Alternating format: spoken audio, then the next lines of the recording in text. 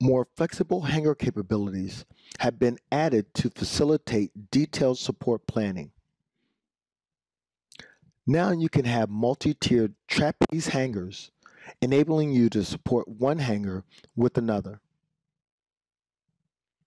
You also have the ability to adjust the rod position on a bearer to coordinate with structure locations or avoid other services.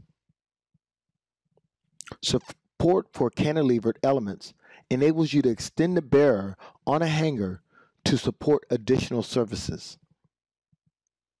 The improvements to hangers also allow you to place a hanger in free space. Now you can model hangers more flexibly to help ensure constructability and facilitate detailed support planning with more flexible hanger capabilities.